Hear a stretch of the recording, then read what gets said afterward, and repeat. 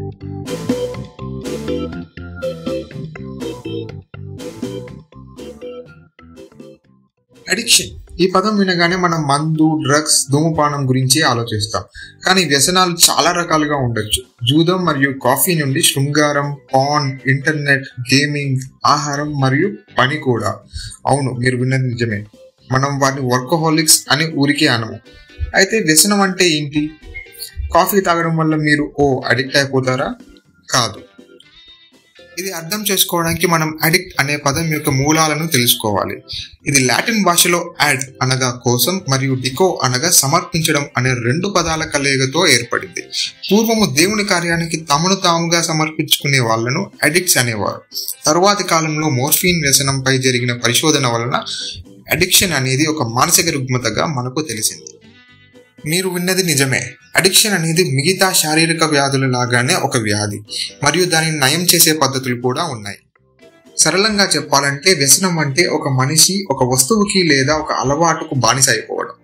ఇది ఆ వ్యక్తినే కాకుండా వారి చుట్టూ ఉన్న వ్యక్తులను కూడా ప్రతికూలంగా ప్రభావితం చేస్తుంది. వ్యసనం అనేది సంకల్ప శక్తి లేకపోవడమో లేదా నైతిక వైఫల్యమో కానే కాదు.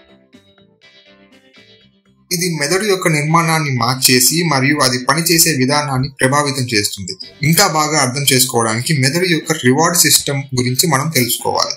రివార్డులు లేదా లాయల్టీ పాయింట్ల ద్వారా భవిష్యత్తులో కొనుగోలు కోసం ఆ కంపెనీల వద్దకే తిరిగి వచ్చేలా ఎలా మనల్ని ప్రేరేపిస్తారో అలాగే మనం కొన్ని పనులు చేసినప్పుడు మన మెదడు దూపమైన అనే రసాయనాన్ని విడుదల చేసి స్వల్పకాలిక క్షణికానందాల కోసం ఆ పనిని మళ్ళీ మళ్ళీ చేసే విధంగా మనల్ని ప్రేరేపిస్తుంది. ఇక్కడ మాట్లాడుకుంటున్నది సంతోషం గురించి కాదు క్షణికానందాల గురించి అని మనం గమనించాలి. సంతోషం సెరటోనిన్ అనే రసాయనానికి సంబంధించింది. ఇక డోపమైన్ గురించి మాట్లాడితే ఇది న్యూరాన్లను ఉత్తేజపరుస్తుంది మరియు న్యూరాన్లు కూడా ఉత్తేజంగా ఉండటానికి ఇష్టపడతాయి. కానీ ఒక మోతాదు వరకే. అతి ఉత్సాహం వల్ల అవి నీరసించి చనిపోతాయి.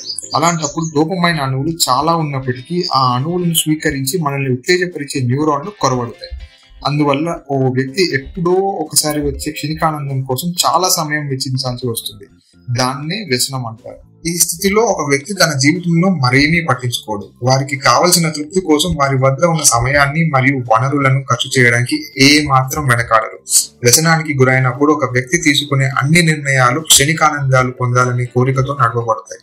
లేదా వారి అనారోగ్యాన్ని మరింత క్లిష్టతరం చేసే తప్పుడు మరియు హఠాత్తు నిర్ణయాలు తీసుకుంటారు.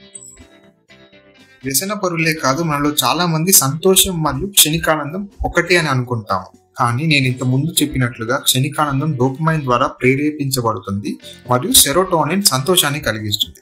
ఈ రసాయనాలు మన శరీరంలో అనేక ప్రక్రియలను నిర్వహించడానికి కలిసి పనిచేస్తున్నప్పటికీ డోపమైన్ అధికంగా ఉండడం వల్ల సెరోటోనిన్ దాదాపు మాయమైపోతుంది. దాంతో పాటు మన సంతోషం కూడా ఆవిరైపోతుంది. కాబట్టి మీరు వ్యసన పరులై ఉండి మీ వ్యసనం ద్వారా లేదా ఆ దశలో సంతోషాన్ని పొందాలని ఆశిస్తుంటే అది జరిగే ప్రసక్తే లేదు. మరి వ్యసనం అనేది ఎలా ప్రారంభమవుతుంది? దీనికి ఖచ్చితమైన సమాధానం లేదు. ఒక్కొక్కరికి ఒక్కొక్క కారణం వల్ల ఉండొచ్చు. ఇది కొందరికి ఒత్తిడి నుండి బయటపడే మార్గంగా ప్రారంభం అవ్వచ్చు మరి కొంతమందికి వారి ఒంటరితనం వల్ల కావచ్చు. ఇతరులకు అది వారు పెరిగిన వాతావరణం వల్ల కావచ్చు లేదా వ్యసన చరిత్ర ఉన్న కుటుంబం కారణంగా కూడా ప్రారంభం కావచ్చు.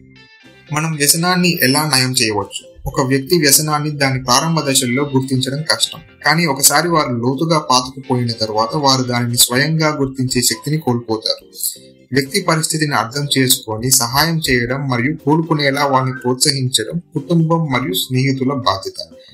చికిత్స కౌన్సిలింగ్ ధ్యానం మరియు మందుల కలయికతో ఓ వ్యక్తి వ్యసనాన్ని విడిచి సంతోషంగా జీవించగలరు ఒక వ్యసనం అన్నింటినీ ఎలా నాశనం చేస్తుందో మనందరికీ తెలుసు. వ్యసనం ఒక వ్యక్తిలో డిప్రెషన్ ఆందోళన అసహనం కోపం రోజువారీ కార్యకలాపాల నుండి వైదొలగడం వంటి మరిన్ని ఇతర మానసిక సమస్యలకు కారణమవుతుంది.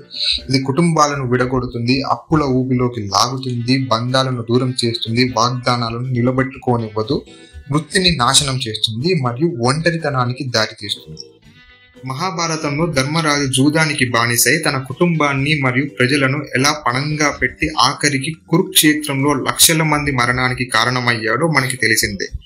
మా తరువాతి వీడియోలో ప్రపంచవ్యాప్తంగా లక్షల కుటుంబాలను జూద వ్యసనం ఎలా నాశనం చేస్తుందో చూద్దాం. ముగించే ముందు మీరు లేదా మీ దగ్గర వ్యక్తుల్లో ఎవరైనా ఏదైనా వ్యసనంతో బాధపడుతుంటే మానసిక ఆరోగ్య నిపుణుల సహాయం తీసుకోండి.